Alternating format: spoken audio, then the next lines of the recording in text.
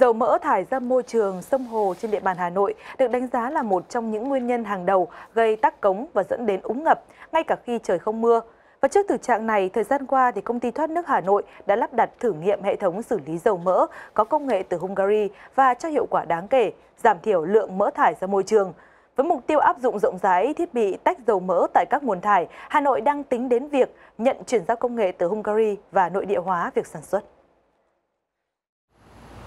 Cụ thể, trong quý 3 năm 2017, công ty trách nhiệm hữu hạn một thành viên thoát nước Hà Nội đã phối hợp với công ty trách nhiệm hữu hạn chất lượng Hungary lắp đặt thử nghiệm thiết bị tách dầu mỡ tại ba địa điểm trên địa bàn thành phố Hà Nội.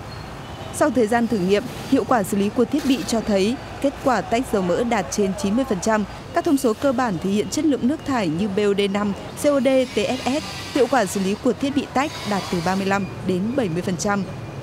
Trên cơ sở kết quả đạt được, Hà Nội đang tính toán để nhân rộng thiết bị tách dầu mỡ tại các nguồn thải, đặc biệt là các cơ sở bếp ăn, nhà hàng, cửa hàng rửa xe, gara ô tô, trạm xăng dầu. Trong đó, trước mắt sẽ nhận chuyển giao công nghệ từ đối tác Hungary, sau đó nội địa hóa việc sản xuất thiết bị tách dầu mỡ nhằm giảm thiểu chi phí sản xuất và lắp đặt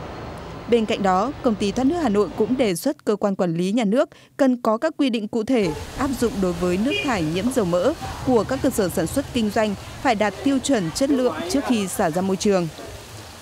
Trước đó, khảo sát của công ty thoát nước Hà Nội tại lưu vực bốn sông Tô Lịch, Kim Ngưu, Lừ, Xét và 13 hồ trên địa bàn Hà Nội cho thấy tất cả các sông hồ trên đều bị nhiễm mỡ, tổng lượng mỡ trong sông Hồ từ 0,5 đến 2,5 mg trên lít, cao hơn tiêu chuẩn quốc gia về mặt nước là 0,5 mg trên lít.